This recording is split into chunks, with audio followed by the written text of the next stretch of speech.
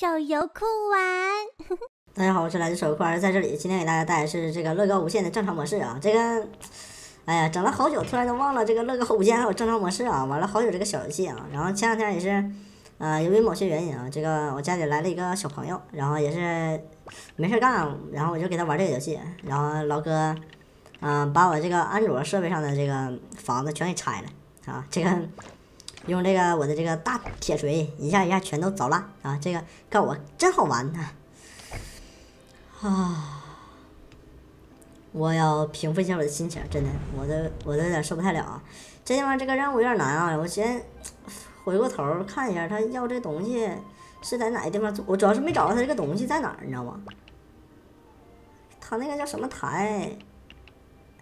啊，是这个吗？炼金台，然后全木板是吗？那合一下，再合一层，然后炼金台这个是吗？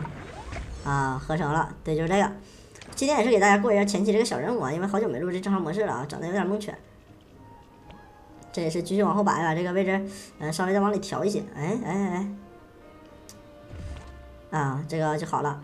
然后现在让我拿这个金矿石制作金矿石什么检测水晶。那是啥？啊，这边也是，我前期也没有找到这个东西啊，因为这个叫工作台，工作台，然后它这上面只会给大家推荐一个常用的东西，就是比如说什么木棒啊、木锤啊，所有的东西呢需要大家先找掉，找到它的这个怎么叫啥，就是。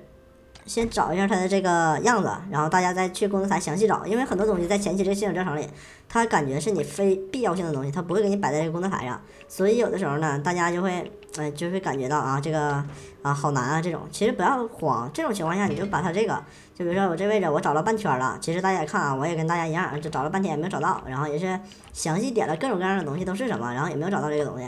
然后再详细的翻各种各样的东西啊，就比如说什么，嗯，你具体的，然后这地方我们把先把这个所有奖励全领一下啊。这地方正在最终也没有用啊，这个先把奖励都领一下啊。然后我还是给大家说一下这个东西在哪儿。这个东西，他说建造这个东西所需要天星石，在我们第一期视频，就是我们刚开始进入这个正常模式，他教你们挖矿的那个地方，那个洞里现在有一个人叫戴斯，只有白天能进去。叫戴斯，他会卖给你一个叫做天青石的东西，啊，这个天青石其实价格也不算太贵啊。大家买完之后回再回到这个地方，你就会发现你这个东西可以制造了啊。这也是游戏本身啊，可能它前期出这个新手教程的时候啊，并没有给大家讲到这个天青石以及这个路线追踪的问题，所以说可能大家前期玩的时候有点蒙圈。那本期视频到这里差不多就结束了，今天给大家带游戏呢叫做乐高无限。如果你喜欢此游戏，请关注我们手游酷玩。感谢你的本次观看，让我们下次再见。